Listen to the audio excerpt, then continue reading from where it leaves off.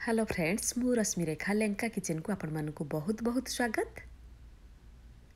ଆଜି ଆମେ ଚଟପଟା ଆଳୁ ମସଲା ପୁର ଦିଆ କଚଡ଼ି ବନେଇବା। ତେବେ ଚାଲନ୍ତୁ ଆଉ ଡେରି ନ କରିକି ଷ୍ଟାର୍ଟ କରିବା ଆଜିର ଏହି ମଜାଦାର ରେସିପିଟିକୁ ପ୍ରଥମେ ଆମେ ଗୋଟେ ବଡ଼ ମିକ୍ସିଂ ବାଉଲ୍ରେ ଦୁଇ କପ୍ ମଇଦାକୁ ନେଇକି ରଖିଦେବା। ତାପରେ ଏଥିରେ ଆମେ ହାଫ୍ ଚାମଚ ଅଜୱାଇନ୍ ପକାଇବା ବା ଜୁଆଣି ପକାଇବା। ତାପରେ ଏଥିରେ ଆମେ ହାଫ୍ ଚାମଚ ଲୁଣ ପକାଇବା ବା ସ୍ୱାଦ ଅନୁସାରେ ଲୁଣ ପକାଇକି ୟାକୁ ଆମେ ଭଲ ଭାବରେ ଥରେ ମିଶାଇ ନେବା। ଦେଖନ୍ତୁ ଇଏ ଭଲ ଭାବରେ ମିକ୍ସ ହୋଇଗଲା। ତାପରେ ଏଥିରେ ଆମେ ତେଲ ପକାଇବା। ତେଲ ପକାଇବା ଦ୍ୱାରା କଚଡ଼ିଟା ଆମର ଭଲ ଖାସ୍ତା ହୋଇଥାଏ। ଏଠି ମୁଁ ପାଞ୍ଚ ଚାମଚ ତେଲ ପକାଇଛି ତେଲ ଜାଗାରେ ଆପଣ ଏଠି ଘିଅ ମଧ୍ୟ ପକାଇ ପାରିବେ। ତାପରେ ଏବେ ଆକୁ ଆମେ ହାତରେ ଭଲ ଭାବରେ ଘଷି ଘଷିକି ମିକ୍ସ କରିନେବା। ଯେମିତି ମଇଦା ସହିତ ତେଲ ଭଲ ଭାବରେ ମିକ୍ସ ହୋଇଯିବ। ଦେଖନ୍ତୁ ଆକୁ ଆମେ ହାତରେ ଭଲ ଭାବରେ ଘଷି ଘଷିକି ତେଲ ସହିତ ମଇଦାକୁ ଭଲ ଭାବରେ ମିକ୍ସ କରିନେଲେ। ତ ଆକୁ ଏମିତି ହାତରେ ମୁଠା କରିବା ଦ୍ୱାରା ଏଇଟା ପୁରା ମୁଠା ହୋଇଯାଉଛି। ତେବେ ଜାଣିବେ ଏଠି ଆମର କଚଡ଼ି ପୁରା ଖାସ୍ତା ବନିବ। ତାପରେ ଏଥିରେ ଆମେ ଅଳ୍ପ ଅଳ୍ପ ପାଣି ଦେଇକି ଆକୁ ଆମେ ଭଲ ଭାବରେ ଚକଟି ଚକଟିକି ଗୋଟେ ସଫ୍ଟ ବା ନରମ ଡୋ ତିଆରି କରିନେବା। ଏକାବେଳକେ ଏଥିରେ ବେଶୀ ପାଣି ଦେବେନି ନହେଲେ ଏଇଟା ପାଣିଆ ହେଇଯିବ। ଏମିତି ଅଳ୍ପ ଅଳ୍ପ ପାଣି ଦେଇକି ଆକୁ ଭଲ ଭାବରେ ଚକଟିକି ଗୋଟେ ସଫ୍ଟ ବା ନରମ ଡୋ ତିଆରି କରିନେବେ। ଯେମିତି ଆମେ ରୁଟି ପାଇଁ ଡୋ ତିଆରି କରିଥାଉ ସେହିପରି ଭାବରେ ଆକୁ ପୁରା ସଫ୍ଟ ଆଉ ନରମ ଡୋ ତିଆରି କରିନେବେ। ମନେ ରଖନ୍ତୁ କଚଡ଼ି ବନେଇବା ପାଇଁ ଏହି ମଇଦାର ଚକଟାଟା ପୁରା ନରମ ହେବା ଦରକାର। ଆକୁ ପୁରା ନରମ କରିକି ଚକଟି ନେବେ। ଦେଖନ୍ତୁ ଏଠି ଆମେ ମଇଦାକୁ ଭଲସେ ଚକଟି ନେଲେ।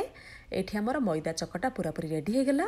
ଆଉ ଏଇଟା କେତେ ସଫ୍ଟ ଦେଖାଯାଉଛି ଆପଣ ଦେଖିପାରୁଥିବେ ହାତରେ ଟଚ୍ କଲେ ଇଏ ପୁରା ନରମ ବା ସଫ୍ଟ ଲାଗୁଛି। ଏହିପରି ଭାବରେ ପୁରା ସଫ୍ଟ କରିକି ମଇଦା ଚକଟି ନେବେ।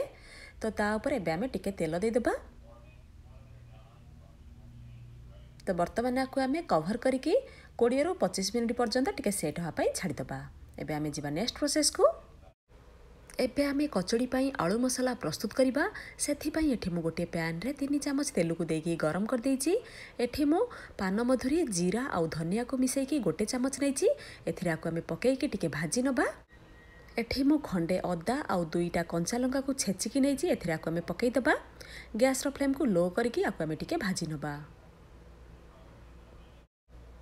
ଦେଖନ୍ତୁ ଏଠି ଅଦା ଆଉ କଞ୍ଚା ଲଙ୍କା ଟିକେ ଭାଜି ହେଇଗଲାଣି ତ ଏଥିରେ ଆମେ ସବୁ ଡ୍ରାଏ ମସଲାକୁ ପକାଇବା। ଏବେ ଆମେ ଗ୍ୟାସ୍ର ଫ୍ଲେମ୍କୁ ଲୋ ରଖିବା। ହାଫ୍ ଚାମଚ ହଳଦୀ ପାଉଡ଼ର ହାଫ୍ ଚାମଚ ରେଡ଼୍ ଚିଲି ପାଉଡ଼ର ଆପଣ ଯେତିକି ରାଗ ଖାଇବେ ସେହି ହିସାବରେ ଲଙ୍କା ଗୁଣ୍ଡ ପକାନ୍ତୁ। ହାଫ୍ ଚାମଚ ଧନିଆ ପାଉଡ଼ର ହାଫ୍ ଚାମଚ ଜିରା ପାଉଡ଼ର ହାଫ୍ ଚାମଚ ଆମଚୁର ପାଉଡ଼ର ଆପଣଙ୍କ ପାଖରେ ଯଦି ଆମଚୁର ପାଉଡ଼ର ନାହିଁ ତାହେଲେ ଆପଣ ଏଠି ଗୋଟେ ଚାମଚ ଲେମ୍ବୁ ରସ ମଧ୍ୟ ଦେଇପାରିବେ ଆଉ ଲାଷ୍ଟରେ ହାଫ୍ ଚାମଚ ଗରମ ମସଲାକୁ ପକାଇଦେବା ଆକୁ ଆମେ ଭଲ ଭାବରେ ମିକ୍ସ କରିନେବା ମନେ ରଖନ୍ତୁ ଗ୍ୟାସ୍ର ଫ୍ଲେମ୍କୁ ଲୋ ହିଁ ରଖିଥିବେ ଦେଖନ୍ତୁ ଆକୁ ଆମେ ଭଲ ଭାବରେ ମିକ୍ସ କରିଦେଲେ ତାପରେ ଏଠି ମୁଁ ସାତରୁ ଆଠଟା ଆଳୁକୁ ସିଝେଇକି ସେଥିରେ ମୁଁ ସ୍ୱାଦ ଅନୁସାରେ ଲୁଣ ପକାଇକି ଆକୁ ଭଲ ଭାବରେ ଚକଟି ନେଇଛି ଏଥିରେ ଆମେ ଆଳୁ ଚକଟାକୁ ପକାଇଦେବା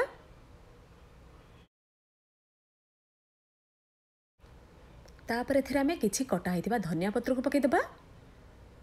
ଏବେ ଆକୁ ଆମେ ଲୋ ମିଡ଼ିୟମ୍ ଫ୍ଲେମ୍ରେ ରଖିକି ଆକୁ ଭଲ ଭାବରେ ମିକ୍ସ କରି କରିକି ଦୁଇରୁ ତିନି ମିନିଟ୍ ପର୍ଯ୍ୟନ୍ତ କୁକ୍ କରିବା। ଦେଖନ୍ତୁ ଏଠି ଆମେ ଆଳୁକୁ ଭଲ ଭାବରେ ମିକ୍ସ କରିଦେଲେ ତ ଏଠି ଆମର ଚଟପଟା ଆଳୁ ମସଲା ପୁରାପୁରି ରେଡ଼ି ହୋଇଗଲା। ଏବେ ଆମେ କୁକ୍ଟପ୍କୁ ଅଫ୍ କରିଦେବା ଆଉ ଆକୁ ଆମେ କିଛି ଟାଇମ୍ ଥଣ୍ଡା ହେବା ପାଇଁ ଛାଡ଼ିଦେବା। ଏଠି ଆମର କୋଡ଼ିଏ ମିନିଟ୍ ହୋଇଗଲାଣି ଏବେ ଆମେ କଭରକୁ ବାହାର କରିନେବା। ଏଠି ଆମର ମଇଦା ଚକଟା ଭଲ ଭାବରେ ସେଟ୍ ହୋଇଯାଇଛି। ଆକୁ ଆମେ ଥରେ ଭଲ ଭାବରେ ଚକଟି ନେବା। ଦେଖନ୍ତୁ ଆକୁ ଆମେ ଟିକେ ଚକଟି ନେଲେ ତ ଏବେ ଆମେ ଯିବା ନେକ୍ସଟ ପ୍ରୋସେସ୍କୁ ଏବେ ଆମେ କଚଡ଼ି ଗଢ଼ିବା ଷ୍ଟାର୍ଟ କରିବା। ପ୍ରଥମେ ଆମେ ହାତରେ ଟିକେ ତେଲକୁ ଲଗେଇକି ଗ୍ରୀସ୍ କରିନେବା। ତାପରେ ଆମେ ହାତରେ କିଛି ମଇଦାର ଡୋକୁ ନେବା। ତାପରେ ଆକୁ ଆମେ ଭଲ ଭାବରେ ଦୁଇ ହାତ ମଝିରେ ରଖିକି ଗୋଲ କରିନେବା। ଦେଖନ୍ତୁ ଆକୁ ଆମେ ଗୋଲ କରିନେଲେ। ତାପରେ ଆକୁ ଆମେ ଆଙ୍ଗୁଠି ମାଧ୍ୟମରେ ଏମିତି ପ୍ରେସ୍ କରି କରିକି ଗୋଟେ କଟୋରୀ ବା ଗୋଟେ ଗିନାର ସେପ୍ ଦେବା।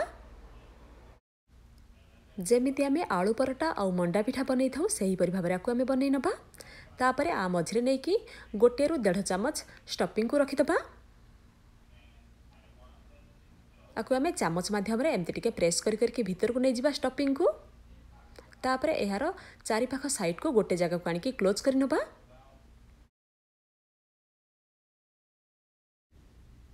ଏହାର ମୁହଁକୁ ପୁରା ଏମିତି ଭଲ ଭାବରେ ବନ୍ଦ କରିନେବେ ନହେଲେ ଆକୁ ଛାଣିଲା ବେଳେ ଏଇଟା ଖୋଲିଯିବ ଆଉ ଏଥିରୁ ଆଳୁ ମସଲାଟା ପୁରା ବାହାରକୁ ବାହାରି ଆସିବ ଯାହାଦ୍ୱାରା କି ଆପଣଙ୍କ ତେଲ କଢ଼େଇଟା ପୁରା ଖରାପ ହେଇଯିବ। ତେଣୁ କରିକି ଏହାର ମୁହଁକୁ ପୁରା ଭଲ ଭାବରେ ଏମିତି ବନ୍ଦ କରିନେବେ। ତାପରେ ହାତ ପାପୁଲି ମଝିରେ ରଖିକି ଆକୁ ଏମିତି ଆଙ୍ଗୁଠି ମାଧ୍ୟମରେ ହାଲକା ହାଲକା ପ୍ରେସ୍ କରିକି ବଡ଼ ବା ଚଉଡ଼ା କରିନେବେ ଏହିପରି ଭାବରେ। ଦେଖନ୍ତୁ ଏଠି ଆମର ଗୋଟେ କଚଡ଼ି ପୁରାପୁରି ରେଡ଼ି ହେଇଗଲା। ଆକୁ ଏମିତି ଟିକେ ମୋଟା ରଖିକି ତିଆରି କରିନେବେ। ତାକୁ ନେଇ ଗୋଟେ ପ୍ଲେଟ୍ ଉପରେ ରଖିଦେବା। ଏଠି ମୁଁ ପ୍ଲେଟ୍ରେ ଆଗରୁ ଟିକେ ତେଲ ଲଗେଇକି ଗ୍ରୀସ୍ କରିନେଇଥିଲି। ଏବେ ଆମେ ସେହି ସେମ୍ ପ୍ରୋସେସ୍ରେ ବାକି କଚଡ଼ି ଗୁଡ଼ିକ ମଧ୍ୟ ବନେଇ ନେବା କଚଡ଼ିକୁ ଆପଣ ଏଠି ଆପଣଙ୍କର ପସନ୍ଦ ଅନୁସାରେ ଛୋଟ କିମ୍ବା ବଡ଼ ମଧ୍ୟ ବନେଇ ପାରିବେ। ଆଉ କଚଡ଼ି ମଝିରେ ଏମିତି ଷ୍ଟପିଂ ରଖିଲା ବେଳେ ଗୋଟେ ଚାମଚ କିମ୍ବା ଦେଢ଼ ଚାମଚ ଷ୍ଟପିଂକୁ ନେଇ ରଖିବେ। ତାଠୁ ଅଧିକା ରଖିବେନି ନହେଲେ ଏଇଟା ଫାଟିଯିବାର ଚାନ୍ସ ରହିଥାଏ।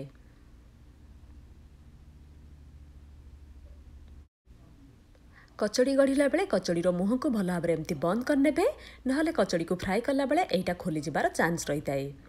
ଦେଖନ୍ତୁ ଏଠି ଆମେ ଦୁଇଟା କଚଡ଼ି ରେଡ଼ି କରିଦେଲେ ସେହି ସେମ୍ ପ୍ରୋସେସ୍ରେ ବାକି କଚଡ଼ି ଗୁଡ଼ିକ ମଧ୍ୟ ତିଆରି କରିନେବା। କଚଡ଼ିକୁ ଫ୍ରାଏ କରିବା ପାଇଁ ଏଠି ମୁଁ ଗୋଟିଏ କଡ଼େଇରେ ତେଲକୁ ମିଡ଼ିୟମ୍ ଫ୍ଲେମ୍ରେ ରଖିକି ହାଲକା ଗରମ କରିନେଇଛି କଚଡ଼ି ଛାଣିବା ପାଇଁ ତେଲକୁ ବେଶୀ ଗରମ କରିବେ ନାହିଁ।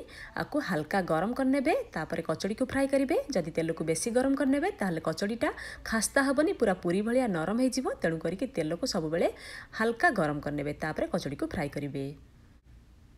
ତାପରେ ଗଢ଼ିକି ରଖିଥିବା କଚଡ଼ିକୁ ନେଇକି ଗରମ ତେଲରେ ଗୋଟି ଗୋଟି କରିକି ପକାଇଦେବା। ଗ୍ୟାସ୍ର ଫ୍ଲେମ୍କୁ ଆପଣ ଏଠି ଲୋ ରଖିବେ। କଡ଼େଇରେ ଯେତିକି ଜାଗା ଧରିବ ସେତିକି କଚଡ଼ିକୁ ଆଗେ ଆମେ ଫ୍ରାଏ କରିନେବା। ବାକି କଚଡ଼ିକୁ ଆମେ ପରେ ଫ୍ରାଏ କରିବା। ଦେଖନ୍ତୁ ଏଠି ଆମେ ତିନିଟା କଚଡ଼ିକୁ ପକାଇଦେଲେ। ବର୍ତ୍ତମାନ ଆକୁ ଆମେ ଲୋ ଫ୍ଲେମ୍ରେ ରଖିକି ପ୍ରଥମେ ପାଞ୍ଚରୁ ସାତ ମିନିଟ୍ ପାଇଁ ଫ୍ରାଏ କରିବା। ଆକୁ ତୁରନ୍ତ ଓଲଟେଇବେ ନାହିଁ। ଯେତେବେଳେ ଏଇଟା ଫୁଲିକି ଉପରକୁ ଭାସି ଆସିବ ତାପରେ ଆକୁ ଆମେ ଓଲଟେଇବା। ପାଞ୍ଚ ଛଅ ମିନିଟ୍ ପରେ ଆପଣ ଏଠି ଦେଖିପାରୁଛନ୍ତି କଚଡ଼ି ଏଠି ଭଲ ଭାବରେ ଫୁଲିକି ଉପରକୁ ଉଠିକି ଭାସିଲାଣି। ତ ବର୍ତ୍ତମାନ ଆକୁ ଆମେ ଓଲଟେଇ ନେବା। ଆକୁ ଏମିତି କେୟାରଫୁଲି ଓଲଟେଇ ନେବେ। ଗ୍ୟାସ୍ର ଫ୍ଲେମ୍କୁ ଆପଣ ଏଠି ଲୋ ରଖିଥିବେ।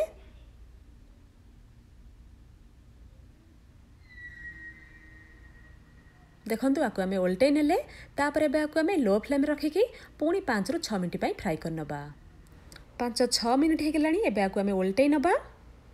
ବର୍ତ୍ତମାନ ଆମେ ଗ୍ୟାସ୍ର ଫ୍ଲେମ୍କୁ ଲୋ ଟୁ ମିଡ଼ିୟମ୍ ଫ୍ଲେମ୍ରେ ରଖିକି କଚଡ଼ିକୁ ଏପଟ ସେପଟ କରିକି କଚଡ଼ିର ଦୁଇ ପାଖ ସାଇଡ଼୍ ଗୋଲ୍ଡେନ୍ କଲର୍ ଆସିବା ପର୍ଯ୍ୟନ୍ତ ଫ୍ରାଏ କରିନେବା। ଆଉ ଛଅ ସାତ ମିନିଟ୍ ଆକୁ ଆମେ ଲୋ ଟୁ ମିଡ଼ିୟମ୍ ଫ୍ଲେମ୍ରେ ରଖିକି ଫ୍ରାଏ କଲା ପରେ ଆପଣ ଦେଖିପାରୁଛନ୍ତି କଚଡ଼ି ଏଠି ଭଲ ଭାବରେ ଫ୍ରାଏ ହେଇଛି ଏହାର ଦୁଇ ସାଇଡ଼୍ ଭଲ ଭାବରେ ଫ୍ରାଏ ହେଇକି ପୁରା ଗୋଲ୍ଡେନ୍ କଲର୍ ଆସିଯାଇଛି ଆଉ କଚଡ଼ି ଏଠି ପୁରା କ୍ରିସ୍ପି ମଧ୍ୟ ଦେଖାଯାଉଛି ତ ଏଠି ଆମର କଚଡ଼ି ଭଲ ଭାବରେ ଫ୍ରାଏ ହେଇଗଲା। ତ ଏବେ ଆକୁ ଆମେ ଗୋଟେ ଜାଗାକୁ ବାହାର କରିନେବା। ଏହି କଚଡ଼ିକୁ ଫ୍ରାଏ କରିବା ପାଇଁ ମୋତେ ଟୋଟାଲି ସତରରୁ ଅଠର ମିନିଟ୍ ଟାଇମ୍ ଲାଗିଲା। ତ ଏବେ ଆମର ଆଳୁ ମସଲା ଦିଆ ଚଟପଟା ଖାସ୍ତା କଚୋଡ଼ି ବିଲକୁଲ ରେଡ଼ି ହେଇଗଲା।